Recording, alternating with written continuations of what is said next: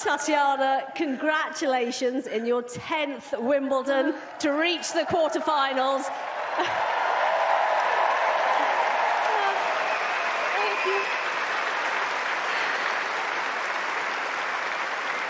It's a look of disbelief on your face. Is that how you're feeling right now? Oh my God, I mean, there are no words for this amazing crowd. I mean, uh,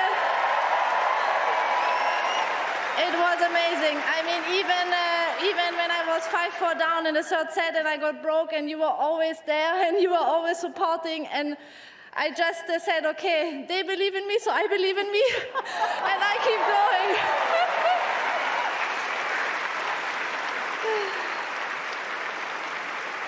You did face two match points in the second set. Mentally, what were you thinking? And was it the crowd? How much of it did you have to just push through? You know, I was thinking, okay, uh, keep going. It's not done here. I mean, it was such an amazing match. Uh, she was playing so well. On one point, I was in the second set, I was already 4 1 down. I came back, uh, yeah. And again, thanks to you guys, uh, because it, it, it, was really amazing to play here on this court.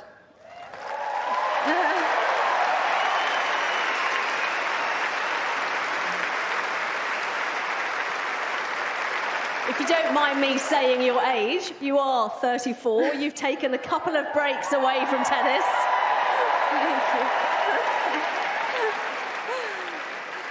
You've taken a couple of breaks away from tennis to have children. Yes. That makes this incredibly special.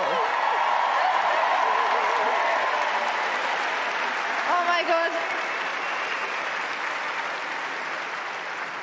I mean, it makes me so proud uh, to be a mom. I mean, that's the best uh, thing in the world. I swear, I, I, love to be a mom and I love my two kids and to, to be able to, uh, to do this together. Uh, and really, I mean, we have from the morning when we arrive here and we practice indoor already at 8.30 with my daughter, everybody is so nice and supporting us and believing in me and in our family, and it makes it really special.